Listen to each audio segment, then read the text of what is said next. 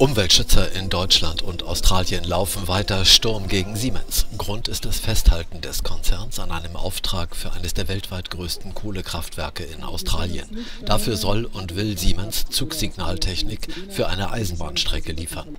Die deutsche Klimaaktivistin Luisa Neubauer von Fridays for Future forderte, bestehende Verträge zur Förderung fossiler Energieträger müssten aufgelöst werden, sonst seien die Ziele des Pariser Klimaabkommens in Gefahr.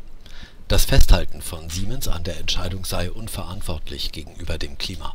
Angesichts tausender Stimmen gegen das Projekt hätte der Konzern seine Entscheidung revidieren können.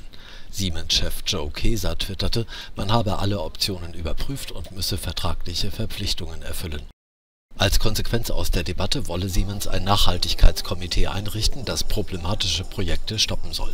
Die deutschen Grünen kritisierten, Siemens hätte sich aus dem Vertrag rausverhandeln oder Strafen in Kauf nehmen können.